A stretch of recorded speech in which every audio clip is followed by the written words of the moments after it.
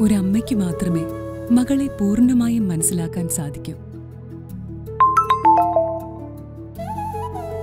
ഒരു പെൺകുട്ടിയുടെ വളർച്ചയുടെ ഓരോ ഘട്ടത്തിലും അമ്മ ചെലുത്തുന്ന സ്വാധീനം വളരെ വലുതാണ്.